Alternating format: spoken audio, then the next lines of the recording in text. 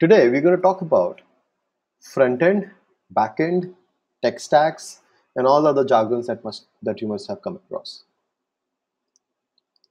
So what's front end?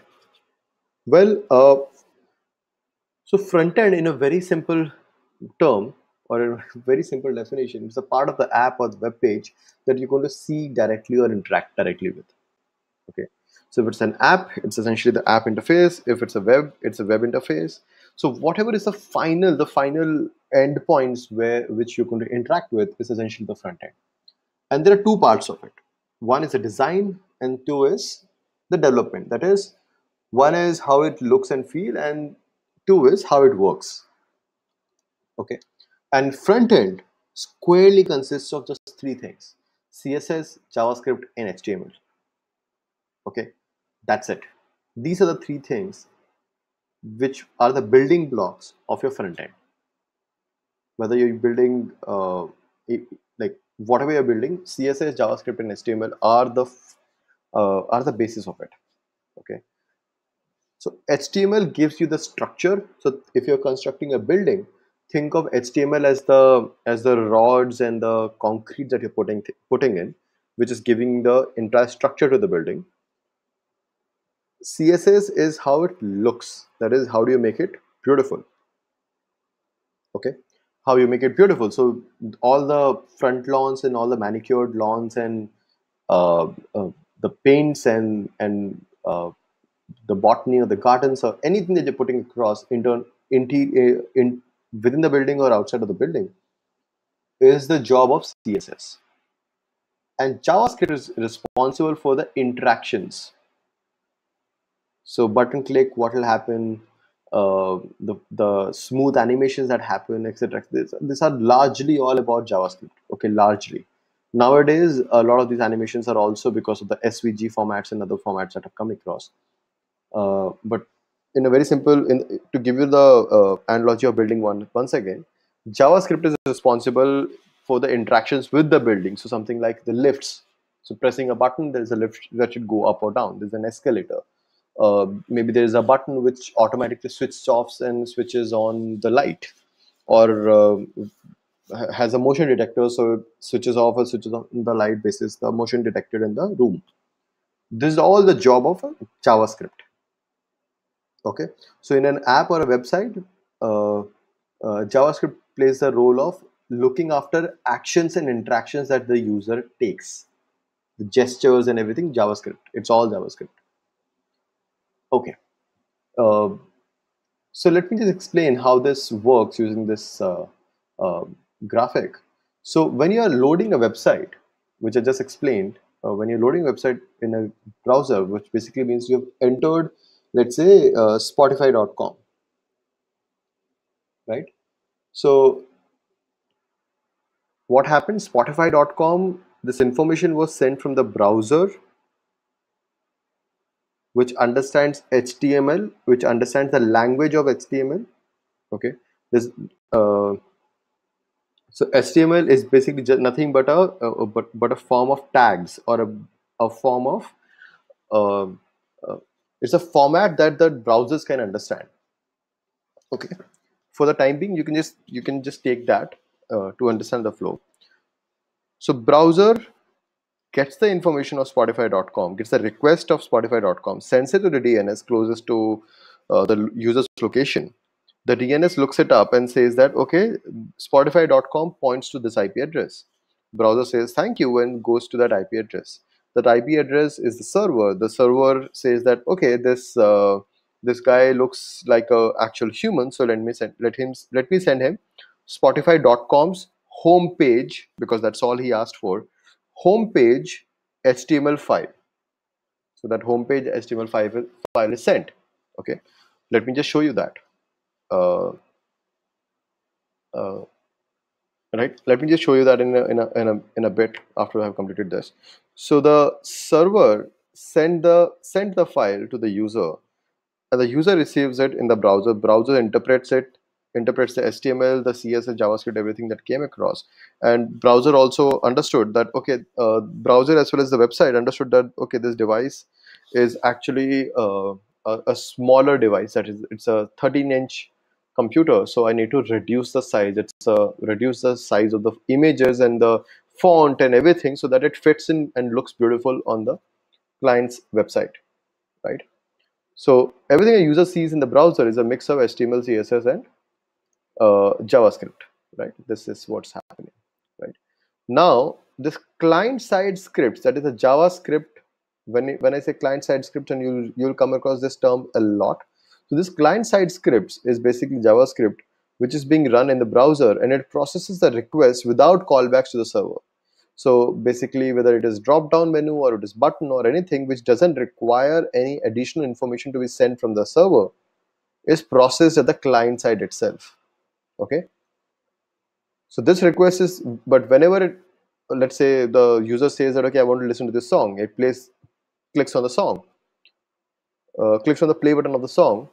The request is sent to the internet. Okay? And this request is sent to the server which is the backend. Okay? What is backend? We'll cover that in the next slide. So when the when the request is sent to the backend that is where the backend figures out that okay this song is required the song is in xyz database pulls in the pulls in the data realizes that the song is too big to be sent in one go converts it into uh, into smaller packets and sends it back as a response. Okay? And this call is sent via javascript and ajax. What's ajax? We will cover that also very soon. But for the time being think of ajax as a service or a, or as a a special kind of JavaScript which allows uh, it's not even actually JavaScript it's a special kind of JavaScript and XML XML is like HTML it's a standard it's a it's a structured way to uh, send information. Uh, so JavaScript and Ajax is used to send a request to the backend uh, not all the time. So uh, Ajax is useful like for example when you're using your gmail you do not like to uh, you would not like to see your page getting refreshed every time you click on a particular email right? So ajax is useful there. It allows to interact with the application without having to reload the page. So whenever a new information has come to uh, whenever new information has come to um, uh, uh, has uh, you know has come to the, the client's end the client so uh, the client browser the client uh, website should need not be refreshed. It automatically it automatically adds it to the to the view. So five years eight years back ajax was nowhere actually. I mean ajax was not so widely accepted or widely used. It was uh, uh, it was actually gmail in 2004 which introduced it and then uh, slowly and steadily it gained a lot of prominence. I, I think it, it around 2008 uh, yeah, about 10 years back, it started gaining strong prominence, roughly. Right? So the backend process the request, it pulls up all the data that was required for the song and sends it back to the client. The client, uh, the user gets to enjoy the song without any interruption. That is the beauty of front end. Okay.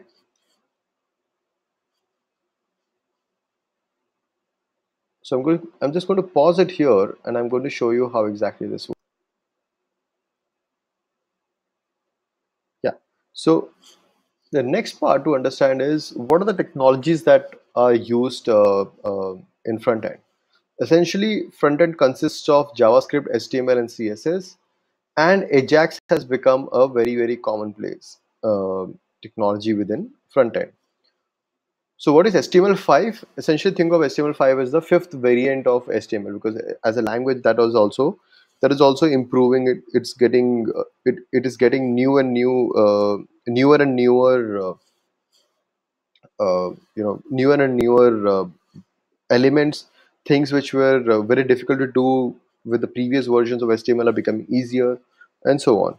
Similarly CSS3 is the third variant of third major release of CSS language and finally, Ajax, which is a, essentially a mixture of uh, JavaScript plus HTML, which allows for uh, uh, you know interruption free sending the request and receiving the request. If without ajax every time you have to get a new information from uh, from the server you'll have to refresh the page. That's the only way to do it. Okay ajax allows to circumvent it. Okay.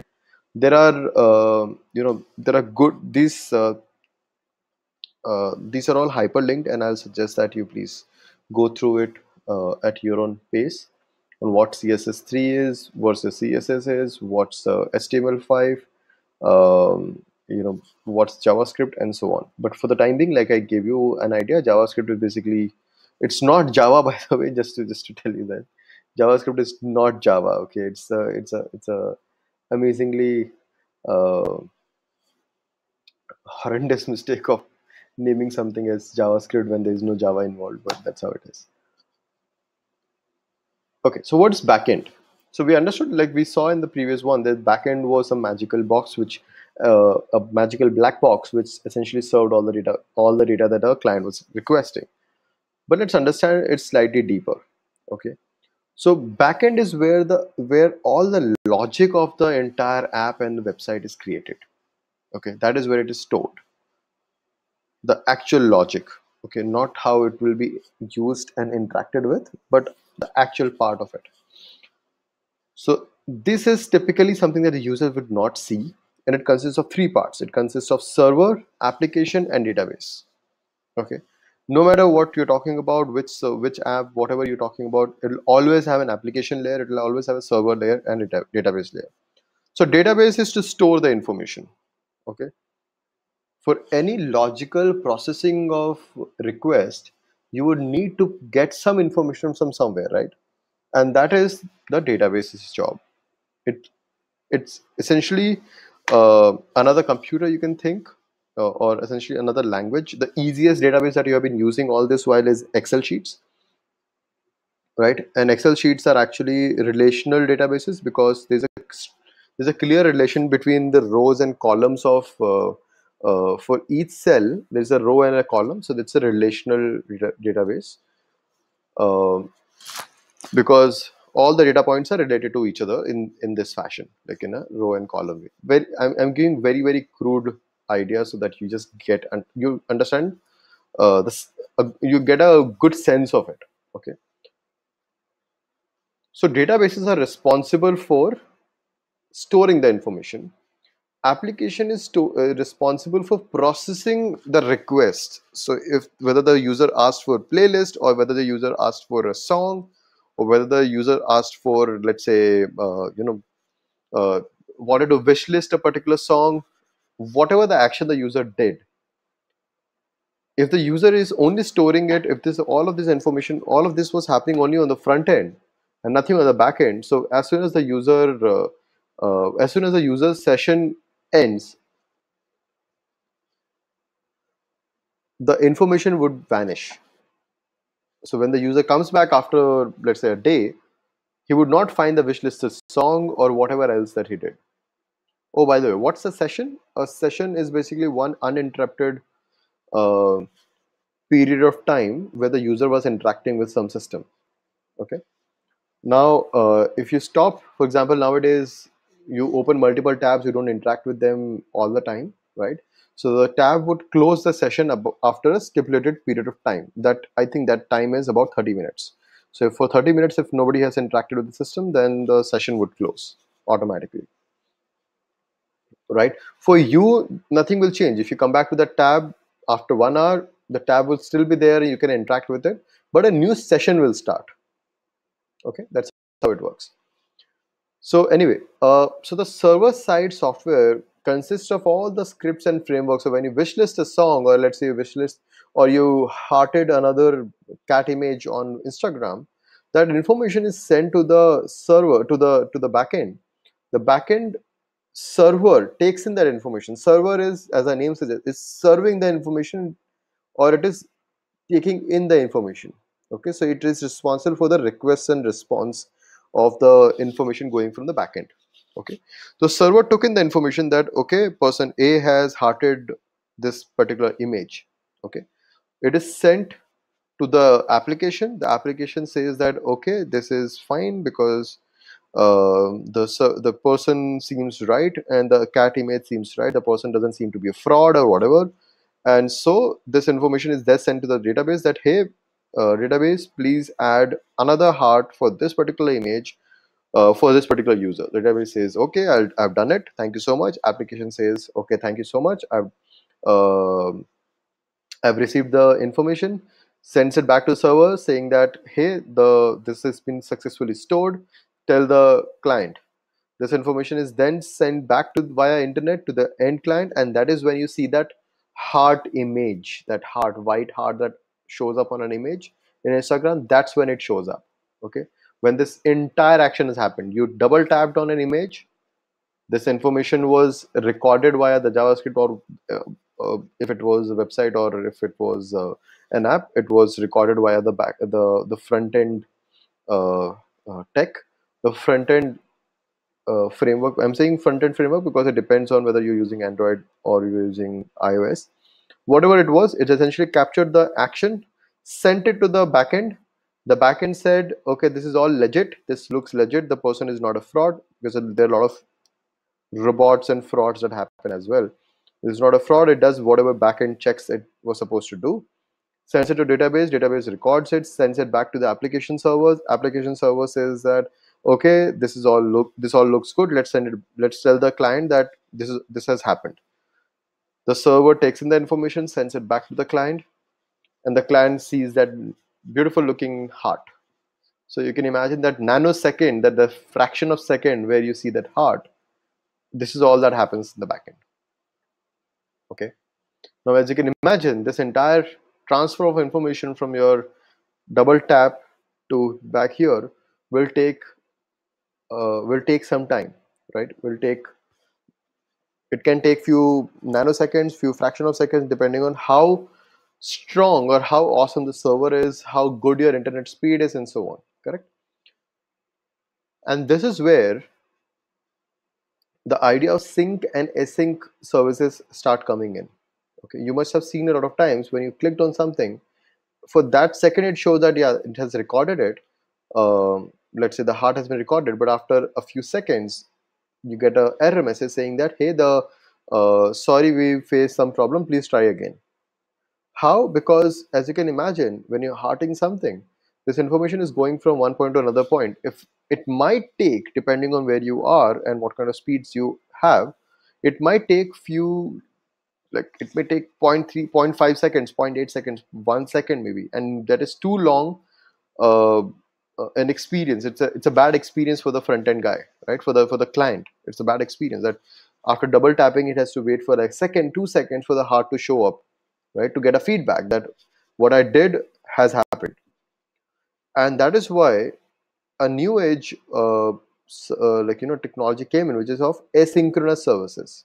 Synchronous services is where you double tapped and all of these ha- things happen in one go uh, in sequence in a sequential manner you get the information and only then you can move ahead.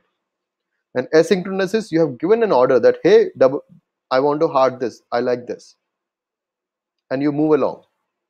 And the and the uh, client that is your app or a website takes in the request and then starts processing it. Says that okay you go ahead and uh, uh,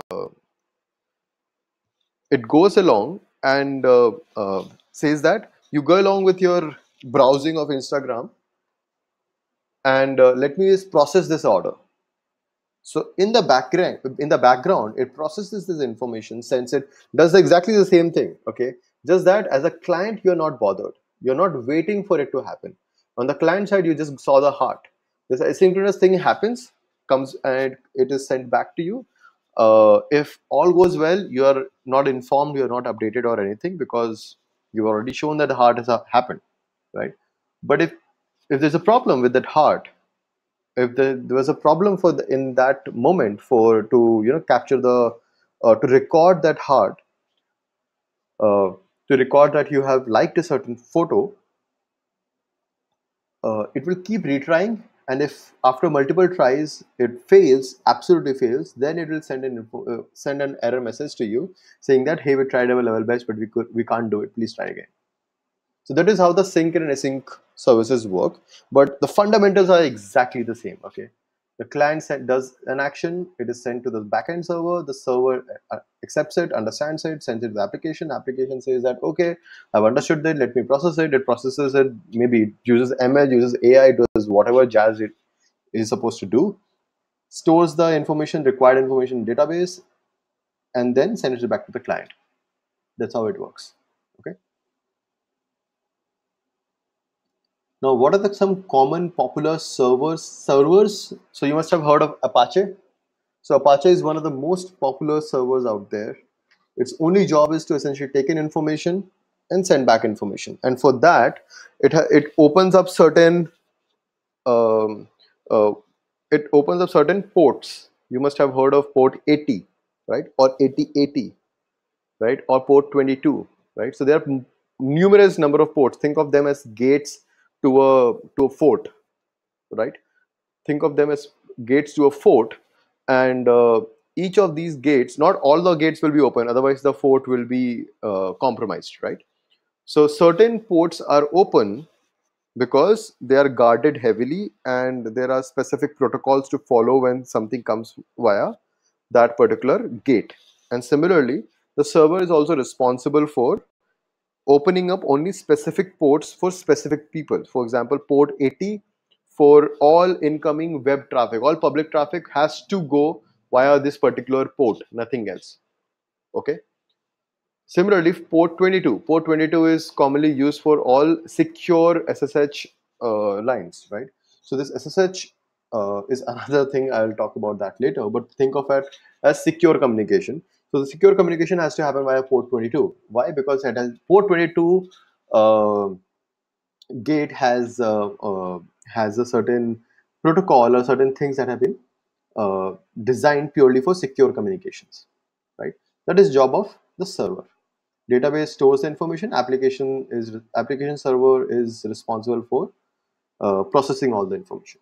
So when I say application server, uh, just to just to be clear, in a large application, one single computer cannot handle all these three things because as you can imagine, these three have different skill sets are required to do completely different things, right? So database is supposed to store the information. So reading and writing has to be really fast. Application has to compute. So computing power has to be really fast. And server is supposed to read and write very fast. And so the computer has to be optimized for read and writes very fast. And that too, not the kind of database read and writes, but of a different kind of read and write. Correct. So in a small application, a small company, in a small application, um, a single computer for Apache, for uh, let's say a server, let's say PHP language, and a database of let's say MySQL is okay. But as, as soon as the system grows, you need to have three different systems. You need to have different server, different computer, you need to have uh, a different uh, application server whose only job is to process and compute and another server for database whose only job is to read and write. Okay? So this is how it works. Some of the backend technologies that exist is php python ruby c hash there is uh, objective c c++ java erlang all of these are backend. Okay now, all of these are known for different purposes. PHP was used to be one of the easiest ways to actually uh, uh, build out a backend. Uh, in fact, Facebook is designed on PHP. Python uh, is has grown a lot in its popularity. I personally love Python because of its versatility. You can build up a normal website to all the way to you know creating the craziest uh, AI applications out of it. Ruby was uh, a heartthrob for a long, long time. Ruby was used for a lot of very interesting use cases, uh, very good products. C uh, and Objective C and uh, C++. These are languages which are closer to the metal. When I say closer to metal, in the sense they're closer to the hardware. They they they're not as abstracted out. Okay, so ideal scenario. Let me give you the abstraction idea just to just to use. Just let me just use this moment to explain the abstraction thought. So the abstraction of languages. Uh, so there's assembly language, which is essentially the last mile. Like if you have to code exactly on the chip itself you'll be using assembly language or machine language right uh, it's and it's notoriously difficult to write assembly language right and that is why people ha- have attempted to write better and better and better languages so that it is easier to code. It's just easier to interpret. It does so that the language itself does a lot of things which uh, you know which otherwise would be too tedious or too cumbersome for the engineer right?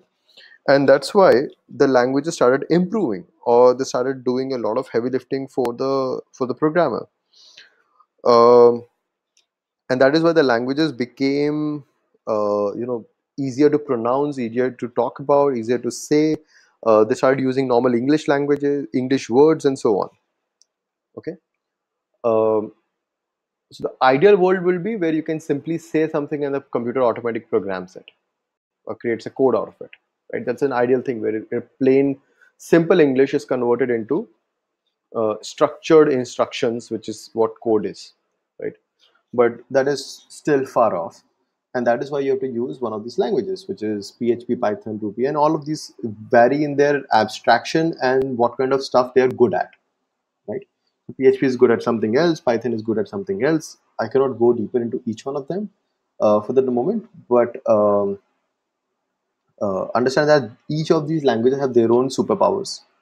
Uh, erlang was used for uh, whatsapp for example Reason being, Erlang was the best language. Erlang actually originated when uh, phone switches were supposed to be created.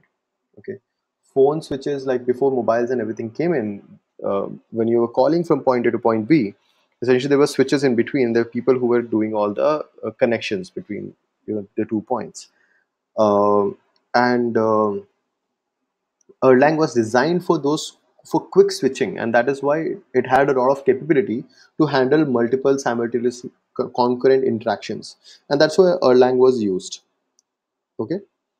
Um, so as I, as you can imagine like java was for some other some other purpose c++ was for some other purpose objective c was for some other purpose. And objective c for example was used when uh, iphone came out with its app store and the entire structure Objective C was used because Objective C was uh, worked perfectly for the for the hardware um, uh, for the hardware requirements and the software requirements of uh, the App Store at that time. Then it was a new language was created, which was Swift, uh, which was based on similar, which sounded or looked similar to JavaScript, uh, which looked in, uh, which looks and reads or has a syntax similar to JavaScript, but essentially it's an abstracted form of Objective C, uh, uh, and it's much easier to use.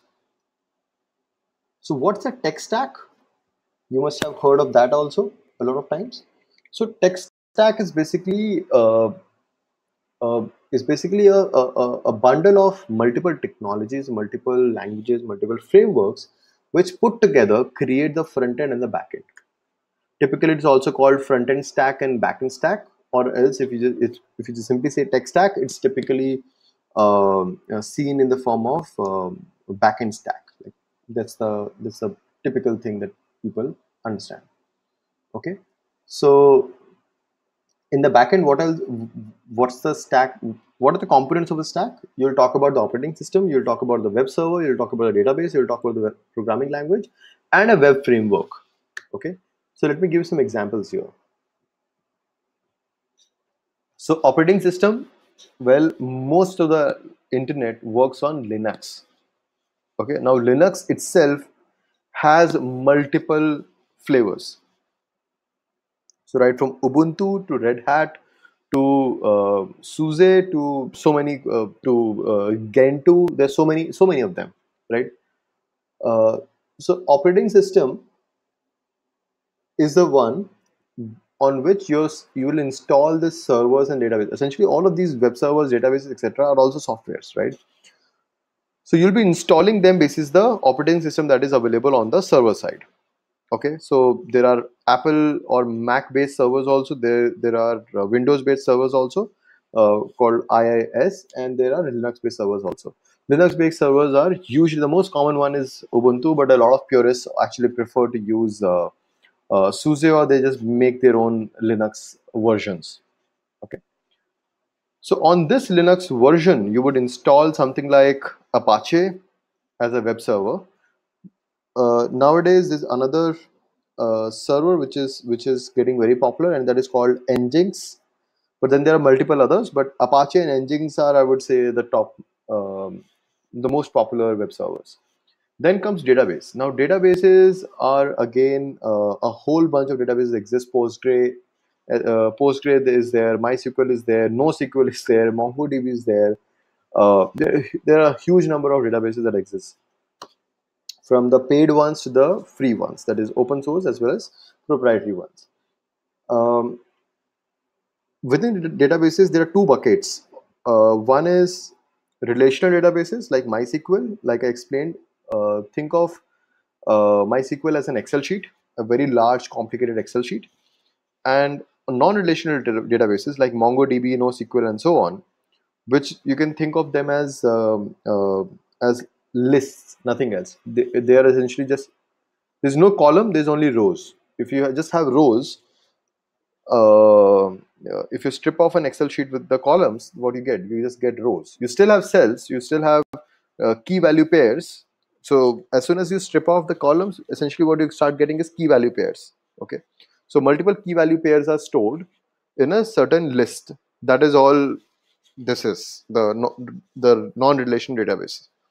So relation database and non-relation database they have their own pros and cons. Um, relation databases are much easier to uh, process and index and search from but then again it has a lot of redundancy involved because uh, uh, not all the databases not all the data points or rows require all the column values. So a lot of column values will also be empty right? There are numerous other reasons but uh, just just talking about high level. So as against that the non-relation databases you will only have specific key value pairs of only those values which exist right? So not you don't have to create frameworks and structure. Uh, in relation databases you have to do a lot of um, pre-planning before you create the database. So if you make any change if you want to change the column after like two months of uh, building out the application because you realize that the columns need to change or the, the rows need to change or I, I, need to add another column or whatever um, because you forgot to add another information or you forgot to you know store some other information uh, it's it's a it's a lot of work okay it's a lot of work because for one particular row you have to have another cell. So just for that reason a whole a new column will be added and um, all the other cells will all the other rows will be empty but except for one row. Sheer wastage. Plus this entire thing will also disrupt or disturb the entire application as well because uh, the entire application needs to know the new column etc etc it's a lot of work. While in a non-relation database because just key value pair you can just simply add one more key value to that particular row. Other rows don't care don't know and don't need to know right? So this is the like pros and cons. So they work beautifully for certain use cases. They don't work so beautifully for different use cases. Uh, and we will come to that when you start actually working on your own project right then comes the programming language which was the php python ruby etc this is where the programming language comes in. This is also the application layer. So the application is designed in which language? Is it python? Is it ruby? Is it what? And then comes the web framework. So typically so you can always write without using any framework. You can just create a Python application without using any framework or PHP uh, uh, application without using any framework. The frameworks were designed because a lot of the uh, work required or a lot of work was repetitive. For example, you have to create a sign-in, sign-up process.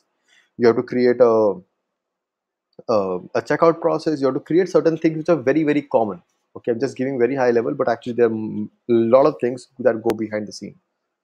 So the frameworks allowed uh, think of the framework as a template that the template already exists and you just have to simply use it as this use it as this right?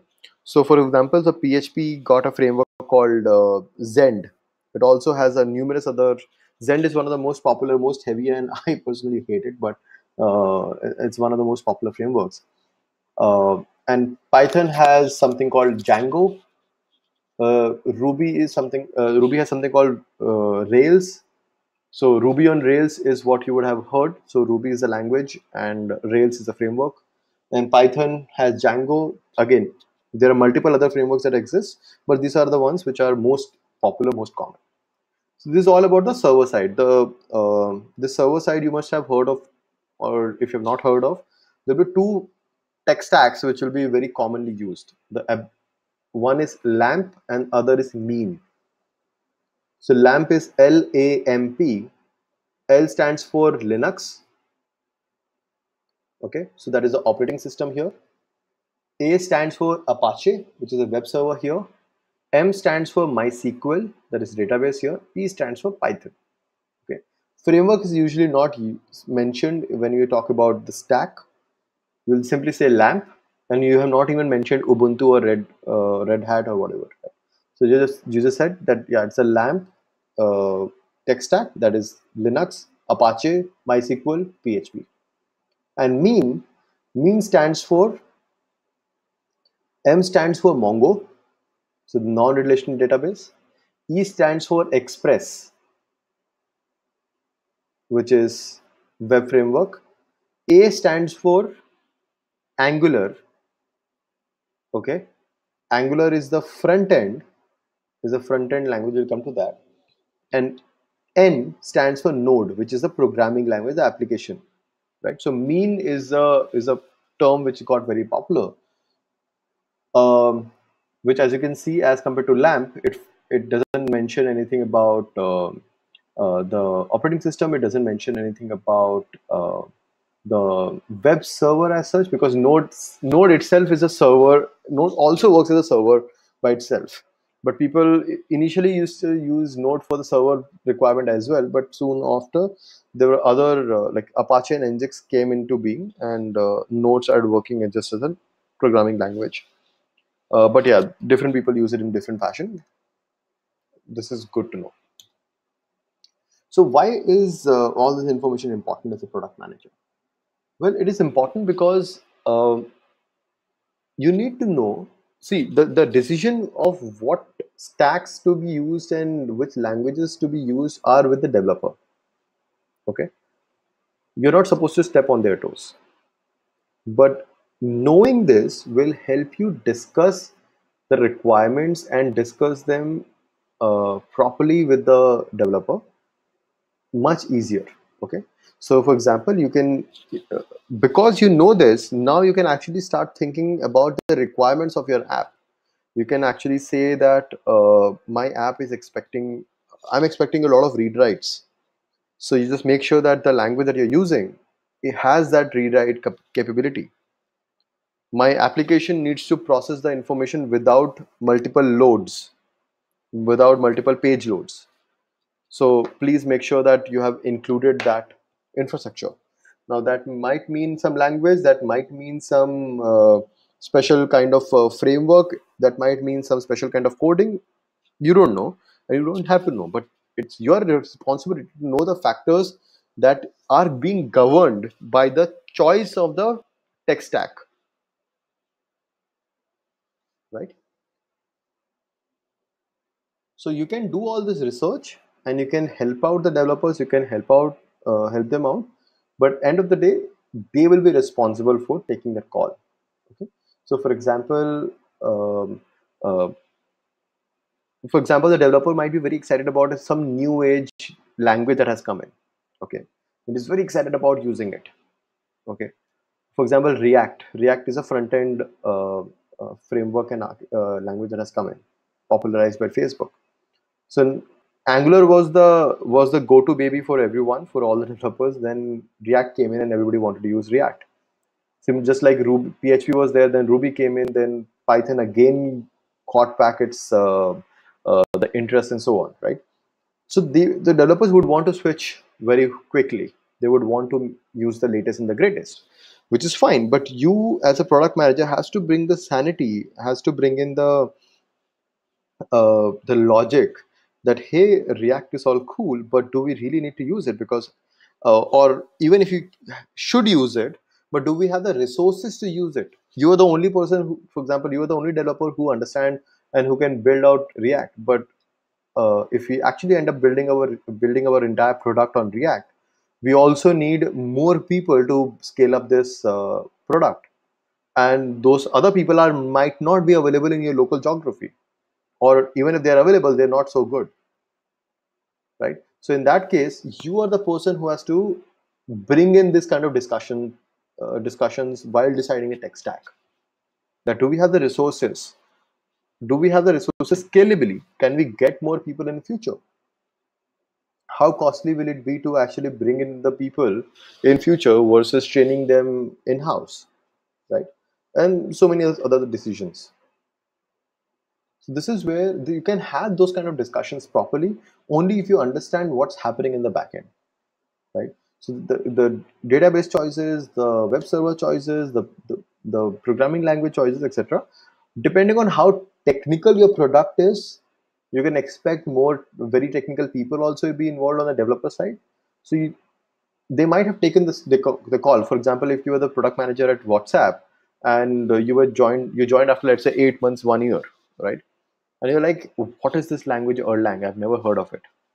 And you would want to know what's the logic behind it. And then you might have to get hold of some, some developer, one at least one developer, to explain to you that why was Erlang chosen and you need to know that information because that will help you in designing better products right so you might be there you might not be there if you are not there just make sure that you understand the logic the reasoning behind the stack that was chosen okay was it chosen simply because that was a uh, because that was the best language best stack for the particular job?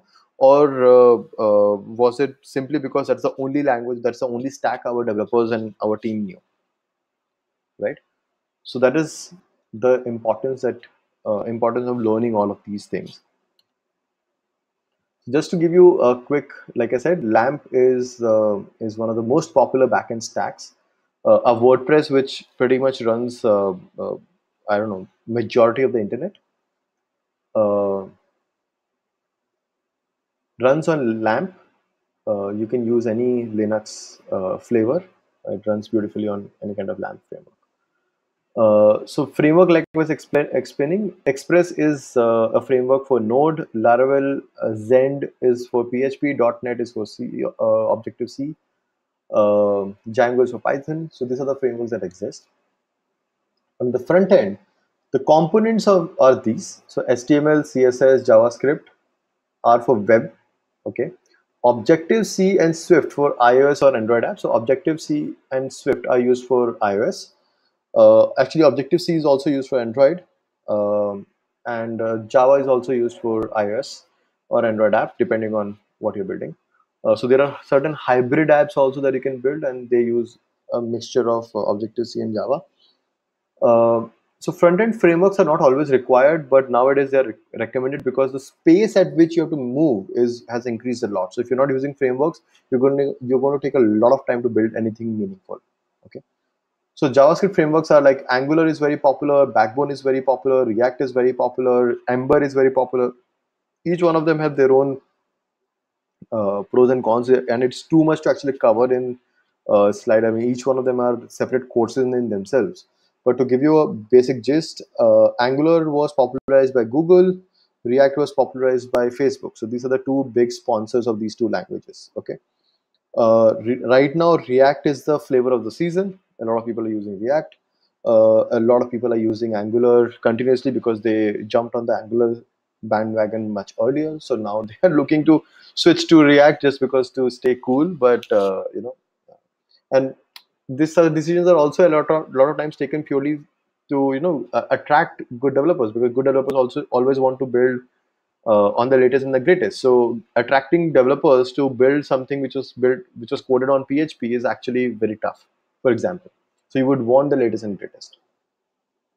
And then there are uh, some presentation frameworks, which are like Bootstrap is one of them. Yahoo has another one of them. There's plenty of them. So these presentation frameworks are essentially, uh, you can think of them as uh, an HTML and CSS framework. So it allows you to create websites very quickly. You don't have to code the button again. You don't have to code the uh, the hero section again you don't have to create sections you don't have to create cards the the, us- the usual interaction the usual uh, elements of any interface, you don't have to create them again from scratch because Bootstrap and similar presentation frameworks are already uh, are already taking care of them. Okay. So you need to know what's uh, uh, at least learn about Angular and React. When I say learn about, just know that these are frameworks which have a lot of these. Just like I said about presentation frameworks, a lot of elements that you can look and feel are already pre-coded, pre-defined. Similarly, in Angular and React, a lot of things which you would have to spend time to actually code and design. So, for example, if there's an update in one button, the all the other buttons should be automatically updated. Such kind of things are possible in Angular and uh, React very easily, and so people prefer to use them. But as a product manager, uh, let me just tell you one quick thing that there's no dearth of especially now there's no dearth of javascript frameworks presentation frameworks uh, jquery and a whole bunch of javascript codes. And uh, developers because they also have to move very fast they choose to abandon, abundant uh, i'm sorry they use they, they use it very frequently okay? They use a lot of them and too much of them. Okay? Which leads to the page gets heavier and heavier and heavier because it's a lot of junk when you add a simple query, query or a plugin, uh, JavaScript plugin to your uh, to your front end, you might just need one function that this plugin has. But because you added the entire plugin, you essentially have added the entire thali or the entire buffet. Okay, uh, which basically is a lot of junk, and that leads to additional kilobytes, and the page starts getting heavier and heavier and heavier. Okay, as a product manager, that's something that you have to control. You have to control the size, the latency, and you have to describe the latencies that you are okay with that you need to provide to your client. And you have to be extremely brutal about that, right? Because you are responsible for the client experience. The developer might say that if you don't you allow me to use this package, it's going to take me one week. It's your call. You have to take a call that yeah, it's okay. Don't use this package because it's adding another 15 kilobyte to my page load I can't handle it. I cannot afford it. Please code it yourself. Okay. Depending on what the situation is, you might have to take such calls. Okay. So to conclude, in this session, we understood what's front end, what's back back end, what's the tech stacks, and what what constitutes the tech stacks. There are plenty of frameworks that exist. Uh, and you have to be very conscious if you are at, if you're in the decision making uh, if you are participating in that decision um, you have to be very conscious of the load times of certain certain frameworks because certain frameworks are actually very very heavy. You have to talk about the different packages different uh, uh, uh you know benefits of different frameworks and scalability of different frameworks. Uh, how much how advanced and how quickly are people adopting to it? How uh, how many plugins and how many support how quick is the support how active is the community etc etc you have to take care of all of that. Because a lot of times developers might get swayed in and they would want to work on the uh, like latest and the greatest but might not be the best for your use case okay? So you have to bring in that sanity in your uh, company. That's all for now. Thank you